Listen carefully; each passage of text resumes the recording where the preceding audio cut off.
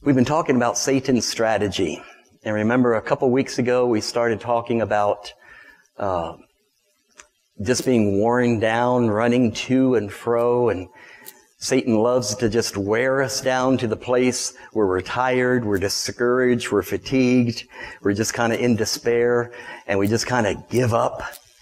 And that's one of the strategies. And then we moved on to another strategy. We said that he just, he viciously attacks our weaknesses, which is why it is so dangerous for us to hide or to keep hidden sins or secret sins in our heart because you're leaving the front door wide open for the enemy to come in and to kill and to destroy. And so we went on from there. I think Thursday night we talked about condemnation and guilt. He is the accuser of the brethren. And as he accuses you day and night, the scripture says, before the throne of God, it affects you. You can feel the oppression that comes from that. Just like he fully expected Job to fail, just like he wanted to sift Peter. Remember in Peter's denial three times, he, one of the greatest tools that he uses is to heap on us condemnation and guilt so heavy at times we feel like we can't even breathe. Have you been there? And he uses that to discourage us and to prevent us from seeking our God. The one I want to talk about this morning is this, and this is, uh, boy, this is happening more and more, especially in the American church. Christians in America, we need a really good, solid purging, some persecution, would only help, it wouldn't hurt. People in other nations that are being persecuted, they don't have the problems in the church, the problems with carnality that we have in, in America, and it's because they're being purified. He says here in 1 John chapter 2 verse 18, he says, Children, it is the last hour. And as you have heard that Antichrist is coming, so now many Antichrists have come. Therefore we know that it is the last hour. He says, even now many antichrists have come. Satan knows that if he can get sin in the church, in this church, then he has a foothold. He has a domain where he can come in and wreak havoc and strife and confusion among us. Paul, in addressing the Corinthians, you remember, he said, look, because you guys are not partaking of the Lord's Supper properly, many of you are sick and some have even died. Uh, they firmly believed that sickness was directly related to sin in their life. That's why James says, if any among you are sick, bring the elders in, pray for one another, and your sins will be forgiven if we confess our faults one to another, if we pray for one another, we can be healed, James says. And so there is a very close link in the scriptures to this. But the fact of the matter is, many antichrists have already come and they're already spreading their lies and deceit and sinful ways into the church today. This is a, I don't know how clearly you all will be able to see this, maybe not at all, Neil, I may have to just steal your notes for a minute. But um, how many of you have ever heard of Ligonier Ministries? Uh, they are conservative evangelical, and they do a survey every two years to keep their finger on the pulse of doctrine and theology in the church, specifically America, and specifically conservative evangelical Christians. Now, when you think of conservative evangelical Christians, they are the torchbearers, right? I mean, at least back in the 60s, 70s, 80s, I mean, they are the orthodox, conservative, Bible thumping, Bible believing Christians, right? So this survey was done among that group of Christians here in America. What do Americans think about God, Jesus Christ, sin, and eternity? And it tells you that every two years they conduct this and then compare the results. Boy, that's a, okay, thank you very much. I'll give this right back to you. So, I don't know if you can read it. It is in your notes, but first, uh, first one, And this went on for pages and pages. I just pulled out a few. Number one, they took this survey. This was the question. God answers the worship of all religions, including Christianity, Judaism, and Islam. 52% of evangelical Christians agree with that. So whatever happened to I am the way, the truth, and the life, no man can come to the Father but by me. As we go down here, just very quickly, I, don't want to get caught up in this, but sometimes the uh, the percentage of disagreement even speaks louder than the agreement. Number two, religious belief is a matter of personal opinions. It is not about objective truth. 60% of evangelical Christians agree with that. Only 30% disagree, which meant the other 10% were kind of, they probably had their flu shot and were kind of lost for the survey. but uh, now think about this. If what's happening here, the spirit of Antichrist is grooming the church for a one world government and a one world religion. Period. That's what's happening here. If we really believe that God receives worship from all religions, you're not going to mind taking the mark of the beast and being under the domain of one world religion and government. If religious belief really is a matter of personal opinion, and it's not objective truth, everything is relative to the situation or to the culture or to the timing, my gosh, just throw the Bible out. Why, why have it anymore? Number three, the Bible, like all sacred writings, contains helpful accounts of ancient myths, but is not literally Jew, literally, literally true. 53% of evangelical Christians agree. Isn't that amazing? This was just done this, this, uh, this year. Worshipping alone I think I'm here. Worshipping alone or with one's family is a valid replacement for regularly attending church. 58% agree. The Bible's condemnation of homosexual behavior doesn't apply today. 44% agree.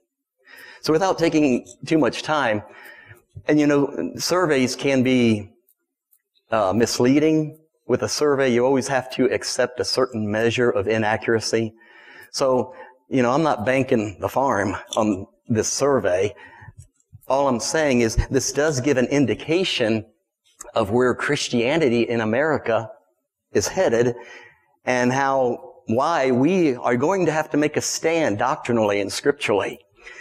Jude chapter 1 verse 3 says this, Beloved, while I was making every effort to write you about our common salvation, I felt the necessity to write to you appealing that you contend earnestly for the faith. I'd say it needs to be earnestly contended for, which was once for all handed down to the saints. For certain persons have crept in unnoticed. They come in speaking the name of Jesus. They come in pretending to be a Christian. They come in quoting verses out of the Bible but they've crept in without notice, secretly. Those who were long beforehand marked out for this condemnation, ungodly persons who turn the grace of our God into licentiousness. And so in other words, they say, it is all right for you to continue in your sinful behavior. God loves you. He will forgive you. And you don't even have to make an effort to repent or be free. It's okay. God understands. And that's what it means to turn the grace of our God into licentiousness, to deny our only master and Lord, to deny Jesus will not be master of my life. I am in control of my life and my own decisions. And so we see this perversion coming into the church in many different ways to where it's okay to live in habitual sin. And recently we've made a distinction between habitual deliberate sin and Christians who occasionally sin. There's a big difference there. And we'll talk about that more as we get into the study. He says, Now I desire to remind you, though you know all things once for all, that the Lord, after saving a people out of the land of Egypt, subsequently destroyed those who did not believe. These people were saved out of Egypt by a mighty, miraculous deliverance of God. And then they ended up in the wilderness and began to doubt and question and grumble and complain. And they were no longer obedient to God's plan and will. And so what did God have to do? Destroy them. And what he's saying here, what the Spirit of God is saying here is don't think you're any better. Don't think you're any different. If our lives are not progressing in sanctification, if we're not sinning less and obeying more, verse 5 could be talking about you and me. He goes and he gives another example of angels who did not, uh, who did not keep their own domain. They fell from their service of God. They fell from the holiness of God. One third that went into rebellion abandoned their proper abode. He has kept in eternal bonds under darkness for the judgment of the great day. Don't think because you've experienced the presence of God and the holiness of God, and then you turn your back and return to your sinful ways. Don't think judgment's not coming for you, because it is. This is the point that he's trying to make.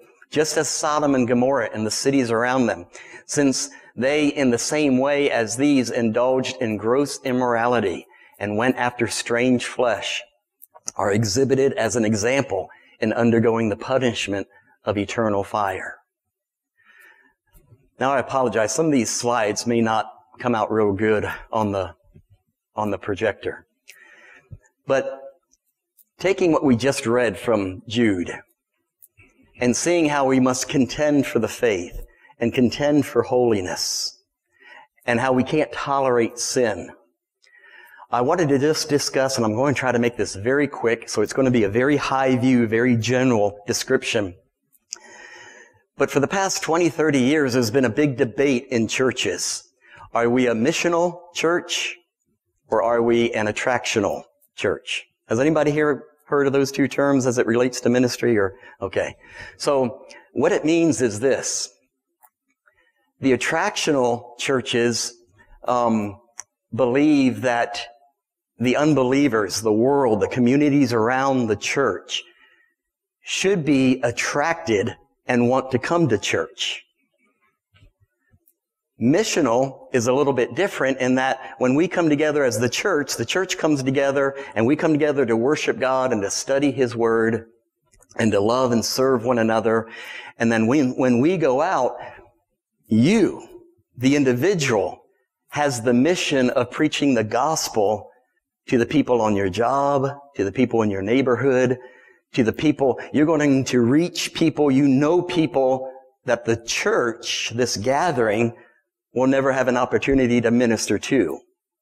And so, missional means that we come together, we gather as the church, we worship God, we edify one another, and then the individual members go out into the community and one-on-one spread the gospel.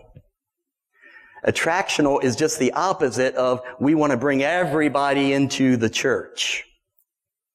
Which gets into a very long discussion that we won't get into this morning. Is the church for believers or is the church for unbelievers? Who's supposed to be, is this church service for unbelievers or is this church service for believers? Now, if an unbeliever comes in, they're welcome to come in. Nobody's going to shut them out or say that they can't be here. But when you just start to think of some very general principles, Jesus is the head of his church, right? And when we come together, who is it that's enabling and empowering and administering the gifts to move among us? You know, most, you guys have talked about it in other churches where, um, you have a, the worship service is more like a rock concert and the music is just so loud, blows your hair off and, uh, and they keep it rapid fire. They don't allow any interlude in between songs because God forbid that the Holy Spirit might want to speak. And we've slammed the door on the Holy Spirit and shut him out of the churches when he's the one that's supposed to be in charge of the service. Right? And so, are we missional or are we attractional? Let me just show you, read through just a couple excerpts here. In recent years, a new movement within the evangelical church has come into vogue. I thought that was a magazine, but I looked it up in the dictionary and I guess it means to be cool, right? Contemporary, modern. Commonly referred to as a seeker sensitive. Generally, this movement has seen a great deal of growth. Many seeker churches are now mega churches with well-known pastors who are riding a wave of popularity in the evangelical world. The seeker-sensitive movement claims millions of conversions, commands vast resources, continues to gain popularity, and seems to be attracting millions of unchurched people into its fold. All right, so this is the attractional thought process, the attractional paradigm or model of church to where we bring everybody we can in. Basically, the seeker sensitive church tries to reach out to the unsaved person by making the church experience as comfortable, inviting, and non-threatening to him as possible. The hope is that the person will believe in the gospel. The idea behind the concept, is to get as many unsaved people through the doors as possible. And church leadership, the church leadership are willing to use nearly any means to accomplish that goal. Theatrics and musical entertainment are the norm in the church service to keep the unsaved person from getting bored as he does with traditional churches. Remember that quote from A.W. Tozer where he's lamenting the fact that so many people are bored with God in today's churches. God is boring. So therefore we have to have this pulsating music and the laser light shows and we have to create a mood. We have to create an environment.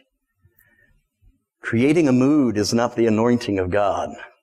It's someone playing with your emotions, but there's no salvation in it. This is just another example, kind of a cute example, and I apologize. We were up in the, uh, up in the front room and there were some of us guys talking about Disney. I love Disney. I don't have anything against Disney. Let me just say that as a disclaimer. But I saw this article a couple months ago, five lessons the church can learn from Disney. You know? I, there's no lessons that the church can learn from Disney. Right? And I this isn't in the notes. Let me, I'm going to turn around and read it. Granted, there are some things Disney does that are not applicable to the church at all, and perhaps they even rub you the wrong way, like waiting an hour in line. But it's a fact that Disneyland Park in California, and the Disney parks around the world for that matter, are places nearly every person wants to go repeatedly. What if people were lining up at your church doors to do the same? So you can kind of see, let's do what we can to entice the sinner into church. And that is where the compromise comes. That is where sin enters into the church from sinful lifestyles, and that's where the Holy Spirit gets shut out. C.H. Spurgeon. Now this guy, he lived in the mid 18, uh, mid 1800s. A time will come when instead of shepherds feeding the sheep, the church will have clowns entertaining the goats. was he right or not? He was, he was, uh, he caught a lot of flack because he spoke very plainly.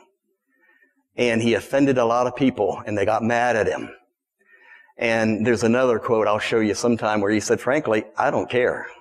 He said, We've had too many polite preachers. We need someone to speak the truth. And he was really fed up with the church at that time going down the path of just exactly what we're talking about here of letting sin into the church because we want to embrace the whole world and bring them into this time and space where it's a holy communion, a holy intercourse with the holy God. And we'll, we'll take a look. I, I can't get ahead of myself. So she, uh, this, this is a lady writing, and she, um, she, she said there's five lessons we need to learn. And I just picked out two of them. Number two was make it a priority to make magic. I don't, the closest thing we have to making magic is Rick and his pumpkin hat. That's it. right? But that's the best we can do. We, we intentionally keep it simple. We worship God. We read the Bible. We study the Bible. We pray together. And if you're bored and tired with that, then you're bored and tired with God. But we're not changing our course. We're not trying to make some sort of magic happen so that you come back for a repeat experience. A.W. Tozer said this, a church fed on excitement is no New Testament church at all. The desire for surface stimulation is a sure mark of the fallen nature, the very thing Christ died to deliver us from. I think that speaks very well to this thing of trying to create such an experience emotionally, psychologically, whatever it is. Paul and Jesus got after the Gentiles for this. He said, all you guys want, you want some intellectual, you know, wisdom of man to make you go ooh and ah. He said, we want the power of God. Number three was make it a safe place for everyone. Now you know where this is going, right? What it describes as a safe place, I'll read it to you. Sorry, my back is turned. Shortly after my daughter started training for her job at Disneyland, she noticed it attracts such a diversity of people, culturally, racially, and even in terms of sexual orientation, because Disney makes everyone feel accepted. I couldn't help but blurt out, that's what the church should be the place where everyone wants to be because they feel loved and accepted. Before I could finish my sentence, she finished it for me, but the church is often the last place they want to be because they fear they will be judged. And that second paragraph, anyway, we don't need to go further because I, I don't want to take a whole lot of time.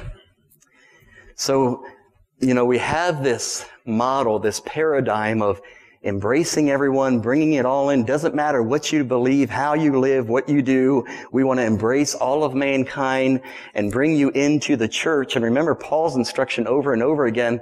The church is to be the place where God meets with his people. And it's holy. Do you remember what happened when someone walked into the Holy of Holies in the tabernacle? Or in the, uh, in the sanctuary? In the temple? They died, right? That's why they tied a rope around the high priest's ankle, just in case he, in case God killed him, they could at least pull him out without someone else going in there to jeopardize their life. What we do here in a church service is holy. It's to be dedicated to God. It's all about God. It's not about the people. And when we lose that sense of priority and balance, we are going to come up and start doing some really bizarre carnal, evil things. This is just another quick article, the, the problem with attractional uh, evangelism. This is from the Keystone Pro, uh, Project. It says here, I don't know if I had this in your notes or not. In this method, the church attempts to evangelize the community by attracting people to its buildings, services, events, and programs. The idea behind this approach is that you offer people what they want or enjoy, and they come to your church. He brought up, I think, five or six reasons, problems with this type of approach. Number one, it does not make disciples, it attracts consumers. And the attractional method typically appeals to the needs or desires of those it is targeting, and to reach and deliver those needs and desires at a price the target group is willing to pay. This religious consumerism at some point the church must call the attendee to a deeper level of commitment or a sacrifice, which is, which it is impossible for them to be a disciple. And, and he goes on to say there that, well, this says it all, verse uh, number four, what you win them by is what you win them to. And so you can't win them with carnal appeal and then suddenly want to make them disciples of Christ. You're, what you win them with is what they're coming for. And they're going to expect you to keep dishing it out. Remember, Jesus, very early in his ministry, when the crowds were following him, he turned around and he spoke to the crowds and he said, wait a minute, people, listen, you gotta understand, you wanna flock to me, you wanna follow me, you're gonna have to deny yourself, take up your cross, and follow me, learn of my ways. And he let them know that right up front. This is not about a goosebump, feel good, give me all I, I, desire, give me these wonderful experiences, just cater to my sensuality. He's trying to tell them it's not that at all. You follow me, you're going to die on a cross. You're going to surrender all. And you can't follow me. You can't be with me unless you're willing to do that.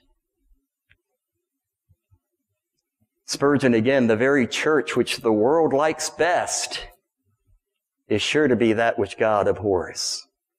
I've showed you that before. So let's look at Jesus' standard for his church. And let's see what, how the Bible compares to, I mean, what we just talked about was such a thumbnail sketch, a broad view of what's happening in the American church today. Not everywhere, but in a lot of places. Let's see what Jesus' standard for his church is. Ephesians chapter 5 verse 25. Husband, love your wives as Christ loved the church and he gave himself up for her that he might sanctify her, having cleansed her by the washing of water with the word, so that he might present the church to himself in splendor, without spot or wrinkle or any such thing, that she might be what? Holy and without blemish.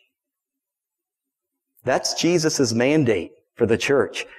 That's Jesus' mandate for Westgate Chapel. He's grooming us to be holy and without blemish. That's the standard. And arrogant, willful, deliberate, repeated sin is not tolerated. Period. You'll see that as we go on. John chapter 16 verse 7. Nevertheless, I tell you the truth, it is to your advantage that I go away. This is Jesus talking to his disciples because he said, when I go away, the Holy Spirit will come to you and I will send him to you as your helper, your comforter. And when he comes, he will convict the world concerning sin and righteousness and judgment.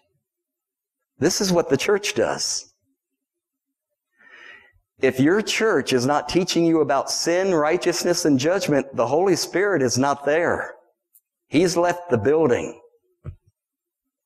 Remember, I've showed you that quote before. The largest church in America, the pastor says he never teaches on hell because people are already discouraged enough and, you know, they don't want to come and hear a bummer of a sermon. Frankly, I think if you know that you're going to hell, but your sins have been forgiven and you've you're saved and transformed into a new creature headed for heaven, I think that would be an encouragement, not a discouragement, right? But we don't talk about hell because, you know, that's kind of controversial and we got a lot of religions coming in here and some people believe it and some people don't. And listen, could it be any clearer? If the Holy Spirit is in the church, in a church, in a gathering, then he, you will be convicted of sin, which is not enjoyable. How many the last time you were convicted of sin said, Oh, this feels so good, please just pour it on? It's uncomfortable. If you really teach the Bible, then when unsaved people come in, they're going to be uncomfortable. It's called conviction. But not only is the Holy Spirit teaching what's wrong, He also teaches us what's right. In other words, He teaches us how to live in righteousness. He teaches us how to obey God. And thirdly, He teaches us of judgment. And he goes on to say, verse 11, concerning judgment, because the ruler of this world is judged. Satan's kingdom has been destroyed by the resurrection of Jesus. His days are numbered. He has been dethroned. He has no power, no authority against the church. He has been judged. And humans, you're next. You're going to be judged. There's a judgment coming. You better be ready for that day of judgment. The Holy Spirit will convict of sin because we don't we don't believe in God. We have unbelief. We don't accept that He is the only way, truth, and life. We don't believe that His commandments are right and just. We believe that we can just kind of do whatever we want to do. Concerning righteousness, because I go to the Father, and because we don't have Jesus here in the flesh anymore, modeling for us the godly life, we have the Holy Spirit instructing us how to live godly and holy. But if there is a church and that church is not bringing conviction for sin, teaching on righteousness, and warning of the coming judgment, the Holy Spirit is not in that church. And they might be doing a whole lot of games and activities and events and feel good moments. And you, you know, you're going to discover your destiny and be a success in life and God is for you and it's just one big pep rally for you. Holy, that's not the Holy Spirit. And that is what allows sin into the church, further robbing any power of the Holy Spirit that might be left. Ephesians chapter 5 verse 3. Sexual immorality and all impurity or covetousness must not even be named. The King James says it, says it this way. Let it, let it not be once named. Now, things happen. Saints fall. Saints backslide. Christians get involved in sinful situations and sinful activities.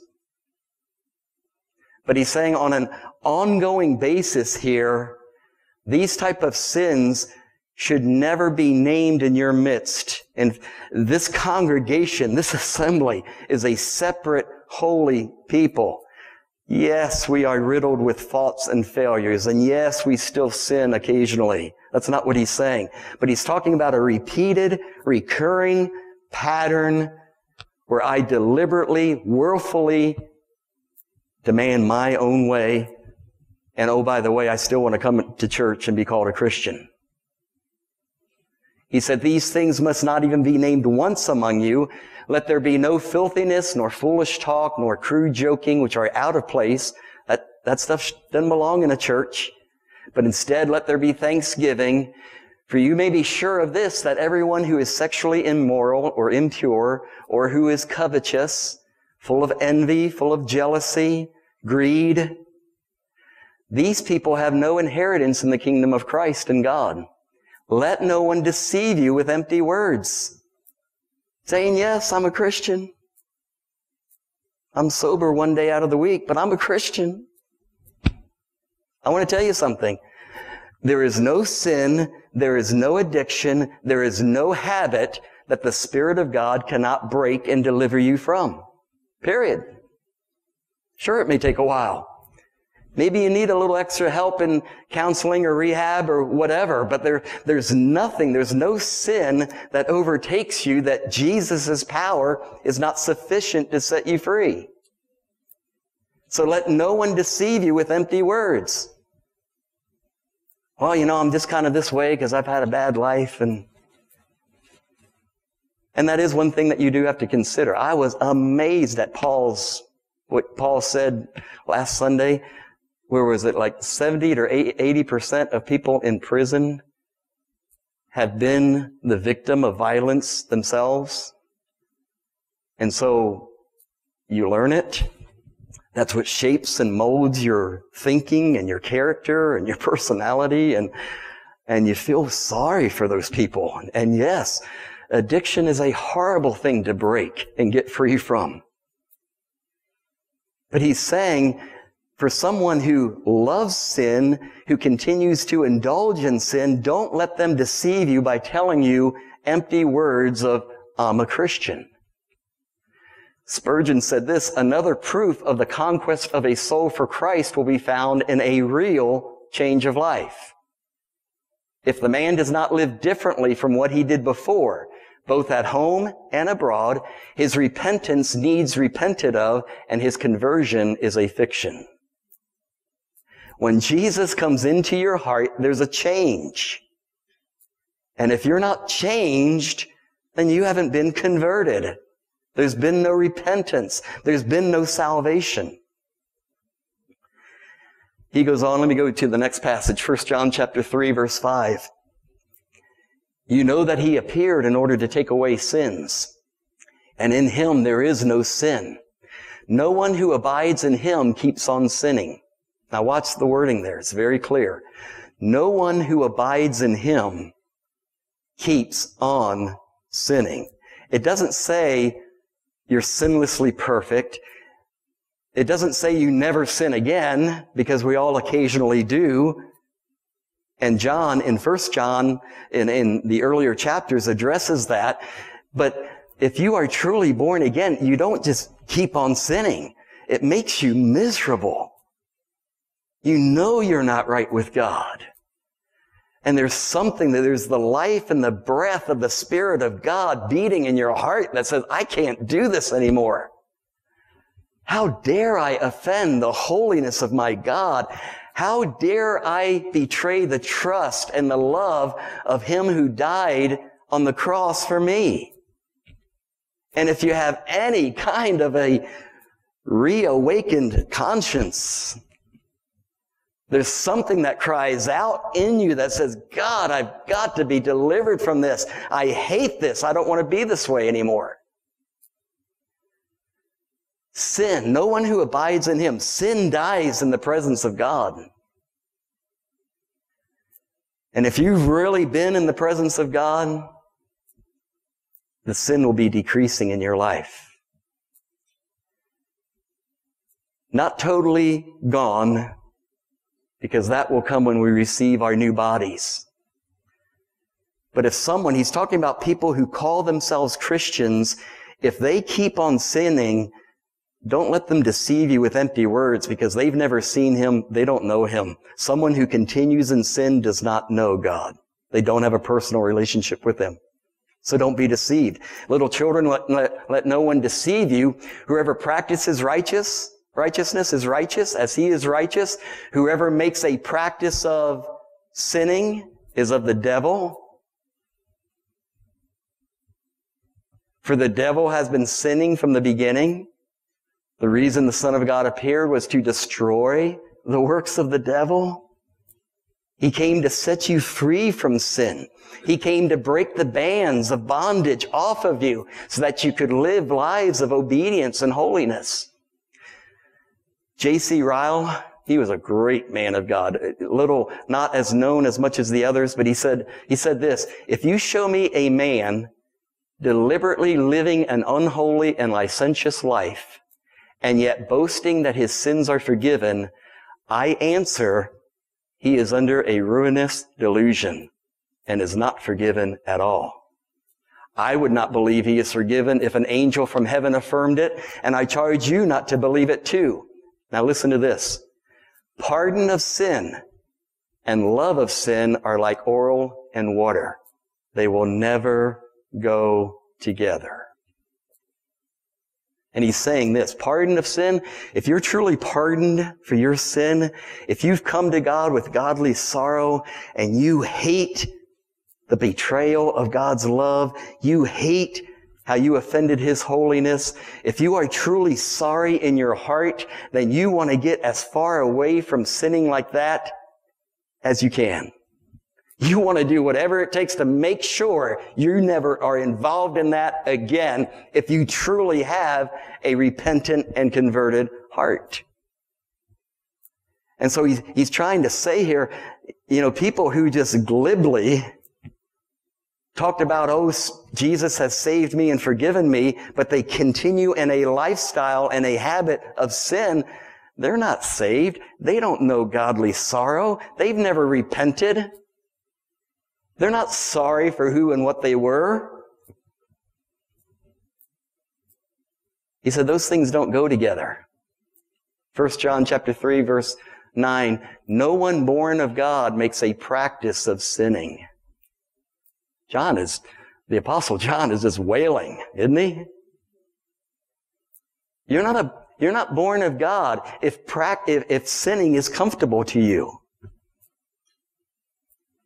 Why? Because God's seed abides in you.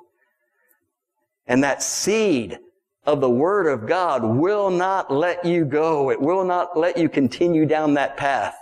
He cannot keep on sinning because he has been born of God. Must be a truck outside, I think. Verse 10, by this it is evident who are the children of God and who are the children of the devil. Whoever does not practice righteousness is not of God, nor is the one who does not love his brother. So I think it's pretty obvious what he's saying here. 2 Corinthians chapter 6 verse 14, do not be unequally yoked with unbelievers. For what partnership has righteousness with lawlessness? What fellowship has light with darkness? What accord has Christ with Belial? What portion does a believer share with an unbeliever? What agreement has the temple of God with idols? For we are the temple of the living God, as God said, I will make my dwelling among them and walk among them and I will be their God, and they shall be my people. When does he come and make his dwelling among us? Therefore go out from their midst and be separate from them. Touch no unclean thing. Then I will welcome you. Then I will welcome you. When does he welcome us? When does he come and fill our service with his spirit and with his power? When? when we go out from the midst of the world and the sin and we're separate from it. Now, say everybody thought that was Old Testament. It's not. It's clearly right here in the New Testament. I put down, down there in the notes, it's eternally better to have 10 people with pure hearts than a thousand people with compromised purity. Because if we lose the purity of our assembly, God won't be here anymore. He will withdraw His Spirit. Do you know in a lot of these, the, the mega churches, and I'm not speaking against mega churches specifically, but now, you know, they have uh, computer programs and people that are going to help and volunteer in the church and teach the children's ministry. You know, they'll sell you software that connects to law enforcement databases. And so when this person wants to come and work in the children's ministry, you know, they can tell whether you have a criminal record or not. Well, if the best thing that I can say about you is that, well, I don't see any criminal activity, that's not a very high standard, is it? Are you filled with the Holy Spirit? Are you born again? Do you have a gift of ministering to teach to children and breaking down the truths of God to minister to them?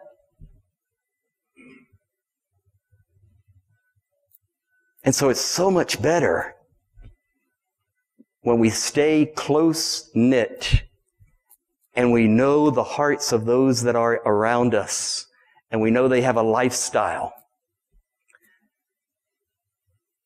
Jesus' is standard for his church, 2 Timothy chapter 2. And I really, let's go to 1 Timothy chapter 3 instead. We'll just skip over that one because I think I'm going to have to shut it down here. We'll have to pick this up next week. I was hoping to get through all of it this time, but it just won't happen.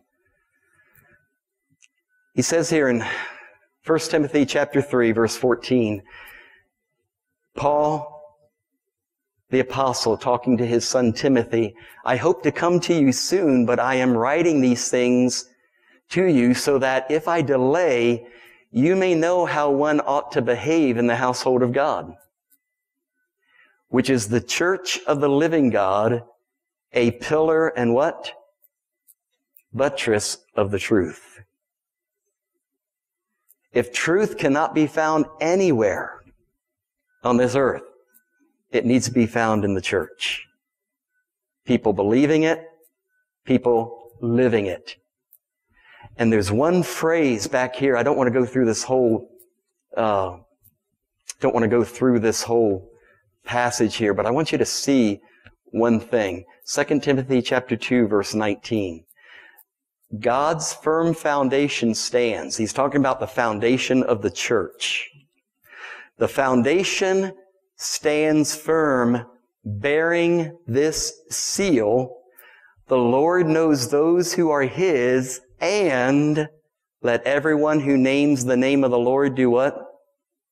Depart from iniquity. Now, what is a seal?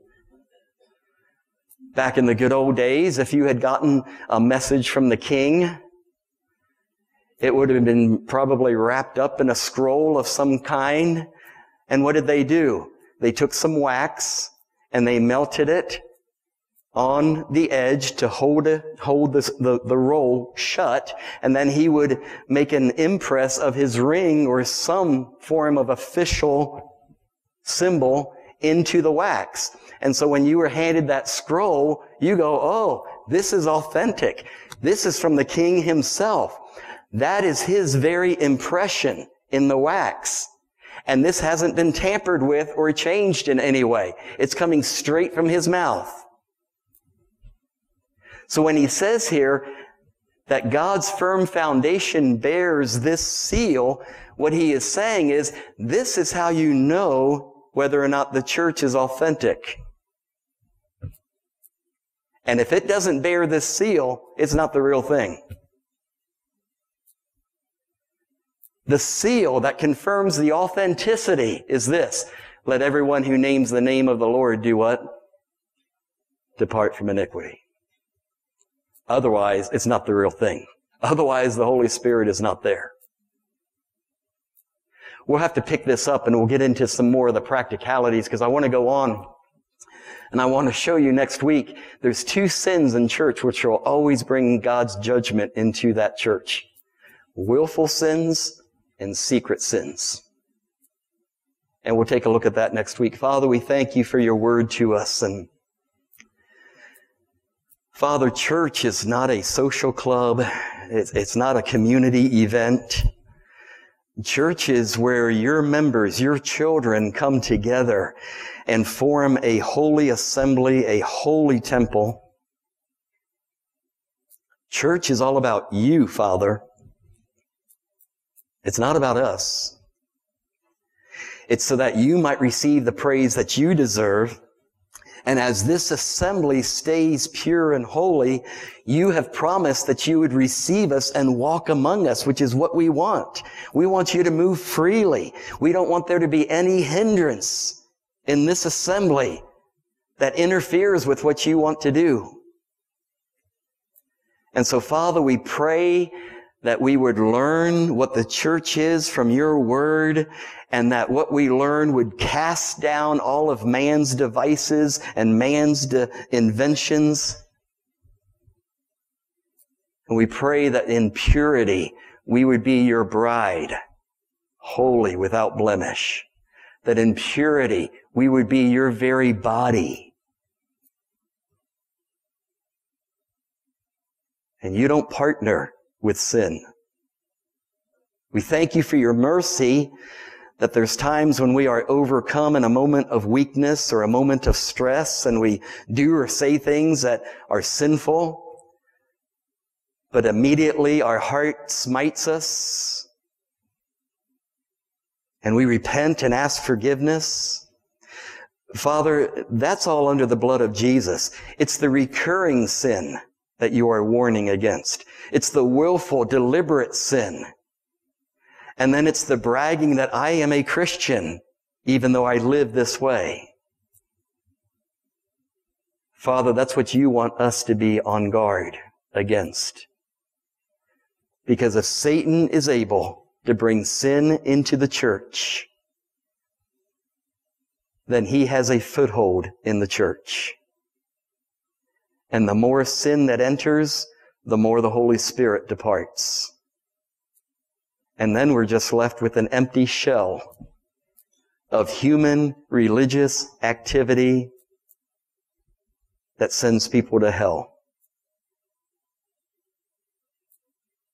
So Father, we ask in the name of Jesus that you would come and prepare our hearts For those who can make it, bring us back tonight to see the testimony of such a man of courage through 14 years of torture. Father, he counted the cost. He took up his cross. He denied himself. And we want to be the same way. And so as we go, we just ask that you would keep us safe. We thank you for each person here in this room and for Lisa and Dana and Sharon on Skype. And we pray that you would richly bless each heart and each home here. In Jesus' name, amen.